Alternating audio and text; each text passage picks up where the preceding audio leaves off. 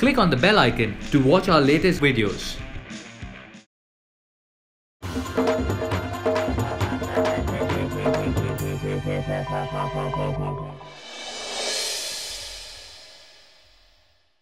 जातक कथाओं में कहा गया है कि बुद्ध ने बोधिसत्व का रूप लेकर धरती पर जन्म लिया था जन कल्याण के लिए। जी, और भगवान विष्णु ने भी अवतार लिया था धरती पर आने के लिए जन कल्याण के लिए। तो ये बहुत इंटरेस्टिंग है। हिस्टोरिकली अगर हम देखें तो जब बुद्ध धर्म शुरुआत हुई थी टू अढ़ाई हज़ार साल पहले तब बुद्ध ने कहा था कि जहाँ पे इच्छा है जहाँ पे तन्हा है थर्स्ट है वहाँ पे दुख होगा।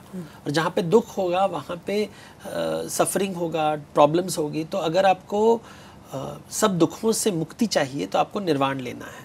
धीरे धीरे बुद्धिज्म में एक बदलाव आया। लोगों ने कहा कि ये बहुत ही कट्टर लग रहा है बहुत ही दुनिया को त्यागना दुनिया को रिजेक्ट करना है। तो इट वॉज़ बहुत ही यू नो संसार को से विरक्ति जिसको कहते हैं। It is disgust with society ये चलेगा नहीं ये प्रैक्टिकल नहीं है। तो हमको एक मिडिल पाथ चाहिए एक मध्यम पाथ चाहिए।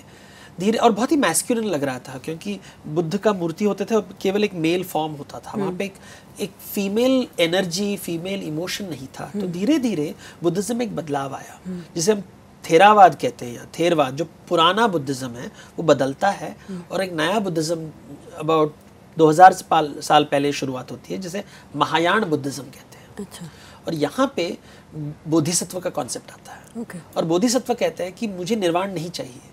मैं निर्वाण नहीं लूँगा मैं धरती पे रहूँगा लोगों के कल्याण के लिए। और इसी समय जाटक कथाएँ आई जो कहते हैं कि बुद्ध के पूर्व जो उनके प्रीवियस लाइव्स थे उन्होंने बहुत ही अच्छे काम किए थे। करुणा भरे बहुत दान किया था और इन इन जन्मों में उनको कहा गया वो बोधिसत्व थे। तो ही टुक मैनी बोधिसत्व के फॉर्म लेने से उनका कर्म इतना अच्छा हो गया कि उन्होंने बुद्ध का जन्म ले लिया। तो ये कॉन्सेप्ट उस समय आता है। और इसी समय जो वैदिक हिंदुइज्म है वो बदलाव ले रहा है उसमें शिफ्ट आ रही है। जो यज्ञ परंपरा था वो बदला बदल के कथा परंपरा हो रही है। और कथाओं में विष्णु की स्टोरी बदल आ रही है। शिव जी की स्टोरी आ रही है देवी की स्टोरी आ रही है और इनमें अवतार के कॉन्सेप्ट भी आने लगे कि ऐसे भगवान हैं जो अनंत हैं इनफाइनाइट हैं सब जगह है लेकिन वो धरती पे रोल लेते हैं लोगों को हेल्प करने के लिए।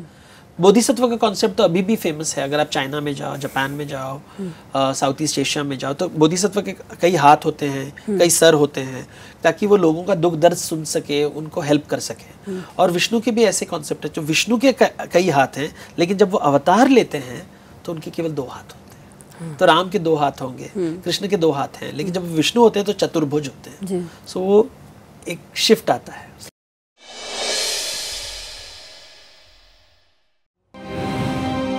Devlok with Devdutt Pattanaik season two अब एक किताब के रूप में। जब चाहो ऑन हो जाओ एपिक ऑन चलाओ।